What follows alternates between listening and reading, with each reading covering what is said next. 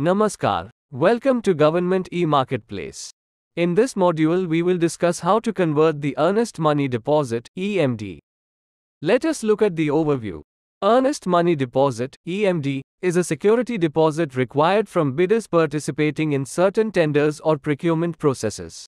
EMD ensures that only serious and financially stable bidders participate in the tender process. Upon successful bid or completion of contractual obligations, the EMD is typically refunded to the bidder.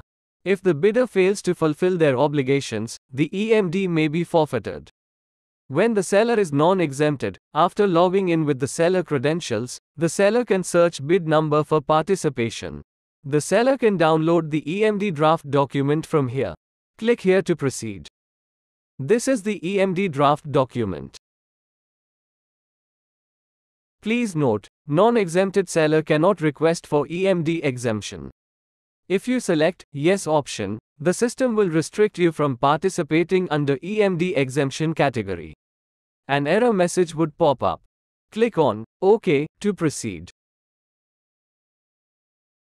When the seller is not exempted and selects No as the option, system will allow to proceed. Click here to proceed. Seller has to provide the EMD details as per the EMD draft document. Please upload the EMD receipt. After filling in the required details, click on Save to proceed. Please read the terms and conditions carefully and click on the checkbox. You can read and download the bid document from here. Click here to verify the OTP to complete EMD participation. When the seller is exempted, after logging in with the seller credentials, the seller can search bid number for participation. The seller can download the EMD draft document from here. Please select the EMD exempt category as applicable. Since the seller here is a verified MSE for that category, he has to upload MSE category certificate. The system shows EMD exemption requested. The buyer must validate EMD status during technical evaluation. Please read the terms and conditions carefully and click on the checkbox.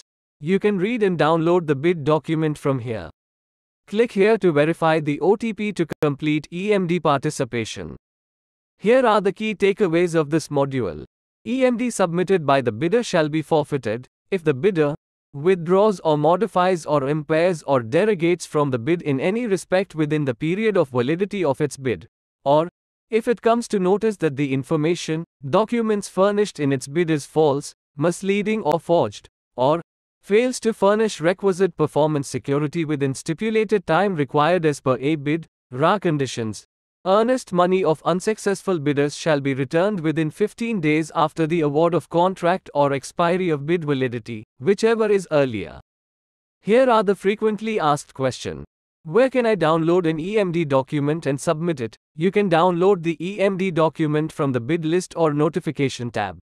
The EMD document should be submitted to your bank, issuing bank, which will then notify the advisory bank provided by the buyer on what amount EMD is applicable, if the estimated bid value is above 5 lakh rupees, this is applicable for both products and services. Thank you.